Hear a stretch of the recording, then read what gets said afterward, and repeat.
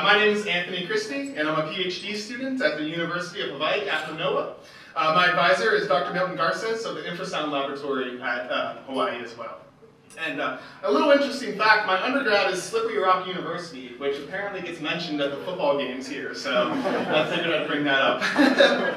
so we're going to switch directions from uh, nuclear stuff, and we're going to switch back into infrasound. And um, today I'm going to talk to you about a framework for the collection, analysis, and verification of next-generation infrasound data. So traditional infrasound arrays are great. You know, we were talking about the IMS station, and they're vital to studying nuclear explosions and other large types of explosions. And as a quick reminder, infrasound is simply sound that's less than 20 hertz. It's created by large movements of the atmosphere. And the problem with traditional infrasound arrays, and I heard this over and over and over again yesterday, is that we want more data. Or there's political reasons that you can't get access to data. Or perhaps the data's in another country that we don't have access to. So higher density and coverage of sensors is always a good thing. And you know, we can help mitigate the effects of atmospheric interference and other physical phenomena if we have a higher density of sensors. And we also want to be able to provide quicker deployment. Sometimes the traditional infrasound arrays can take a little bit of time to deploy. So what does a next generation infrasound sensor look like? Well, we want to be able to reduce the size of the sensors, the weights, the power, the cost. These are all good things. Um, we, we can make infrasound sensors as an app now. You can download this app on your iPhone. We're currently developing prototypes for Android as well. But the beauty of this is that these sensors are very easy to maintain. They're ubiquitous. I guarantee every one of you has one in your pocket right now. They provide multiple ways of communication, whether you want to communicate over Wi-Fi, you can communicate over the cellular network, or if you're in a location where you don't have normal paths of communication, we can collect the data off the cell phones themselves. We can download directly from the devices. And we're built using industry standard technologies. Uh, we record sub-audio data, and we send that over the network. We encode the data in uh, WAV files, audio files. Uh, you know, if you've heard of WAV, it was popular in the 90s. It's uncompressed. But it's a beautiful file format because we're able to include uh, metadata in the file itself. It's a chunked file format so that we can go in and include things like latitude, longitude, uh, the device that it's coming from, timing information, synchronization information, etc.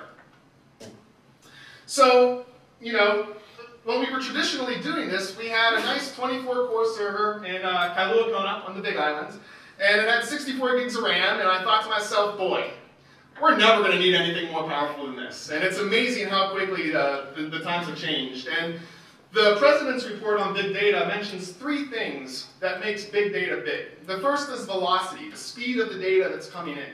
And in our case, our infrasound sensors are continuously and constantly streaming audio data in the form of wave files. So the data is coming in very, very fast. The volume of data is also much larger than anything we've seen before. Currently, we're easily pulling gigabytes of data uh, per day, and we're probably going to be in the terabyte range within the next couple of years. And this is simply not something that we can do with a traditional server architecture. And finally, the variety of data has given us a lot of challenges. Uh, if you think about the fact that your cell phones can be sensors, they come from different manufacturers. The microphones are produced from different manufacturers. So the data that we get is very heterogeneous, and that makes it tough to go through and do data quality. So, you know, this is where the realm of big data comes in. We're there now, so we need to figure out a better solution. So what I've been working on is a next generation framework to help tackle these issues of the amount of data coming in. And my framework uh, basically comes in uh, three or four parts. We have a very scalable data acquisition layer, which collects the data from all of our infrasound sensors. We have an interface that allows us to do uh, sensor monitoring and data discovery uh, in an intuitive fashion. We have to provide time synchronization between our devices so that we can correlate results between our sensors. And we want to be able to do real-time analysis and classification. We're not really there yet. This is something that I'm working on with a collaboration with Lawrence Livermore. Um, and the one thing I really want to note is that we're really embracing open source software. We wouldn't have been able to build uh, you know, half of the software that we've done if we didn't have software to build on top of. So what took a year probably would have took five without open source software. So I just want to put a big plug in for the open source community.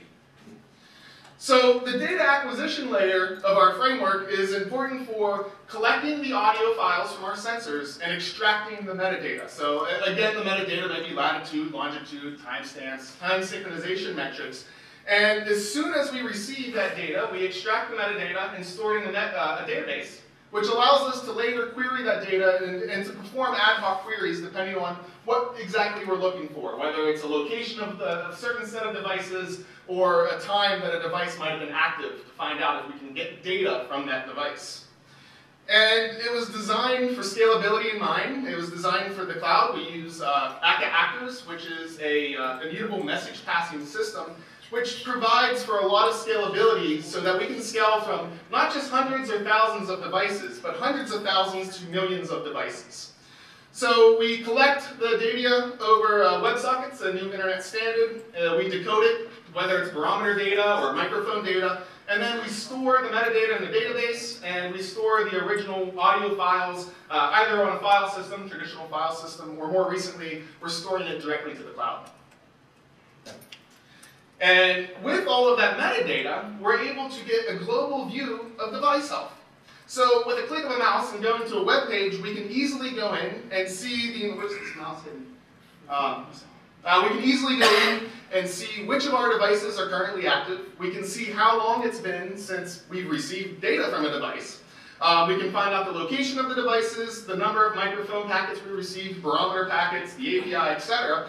And we can drill down in and get more statistics for individual devices. Uh, we keep track of things like the number of audio files per hour that we receive per sensor, or you, or um, the average round trip latency between uh, the devices and our service. And these are all statistics that we care about because it tells us something about the quality of our data uh, to make sure that our data that we're looking at is, is worthwhile to look at. And uh, we just recently implemented an interactive data discovery interface. Um, this is obviously white, and uh, you can provide a, a start timestamp and an end timestamp, and this interface will show you all of the sensors that were active between those timestamps. And then you can select a event source, and once you select an event source, it gives us all of the devices um, in order of distance from that event source, it gives us the estimated arrival time of an infrasonic event to each of those devices from the event source, and it also gives us an estimated back azimuth to the event from each of those sensors, um, which is really helpful when we're trying to estimate, you know, which data do we need when we're looking at an event source. So for instance, we had a satellite breakup over the island of Maui a couple weeks ago, uh, the Cosmos satellite, and we were able to pick it up on our cell phones and the, the infrasound signature, and we use this interface to go in and download the audio data that, uh, that came from that event source to do further analysis. Um, I'm running out of time, so quickly. Time synchronization. When you hear a noise, how do you know which direction it came from? It's because that noise enters your ears at two different times. And the internal clock in your brain tells you which direction it came from. Well, we have the same issue with infrasound sensors. You need to be able to tell which direction. So they have to be highly synchronized. We uh, constructed a uh, message exchange algorithm similar to NTP, but a little bit better. And it can be ran on any uh, Linux server. Right now we're using a Raspberry Pi, but if you have a Linux box, you can run it um, so everything, all of our data is synchronized to a master clock with a relative accuracy of one millisecond. Um, so things are synchronized. And finally, uh, like I said, currently we are in the process of transitioning everything from a, a traditional server environment to the cloud. So we're looking to do distributed real-time analysis using Apache Spark and Spark Streaming, uh, Python with its full library of scientific libraries, um, Real-time event reporting, if, if an infrasonic event happens, we want to know where it happened, when it happened, and how big was the boom. So, um, as I mentioned, I have a collaboration with Lawrence Livermore, uh, collaborating with Stephen Magana-Zook and his team, and we are working on signature classification, data quality, and verification. Uh, finally, um, right now we're just looking at infrasound data from cell phones, but we want to look at everything as a data source. Imagine if you could scrape YouTube, or SoundCloud, or Twitter, or you know the idea of data fusion. If, we can mix this with other data sources, we can get a much clearer picture of the world around us, and that's what I'm really interested in doing. So thank you. So what I did was I placed uh, it on the ground and I imaged it overnight for about 10 hours. And as you can see, you get an image on the left side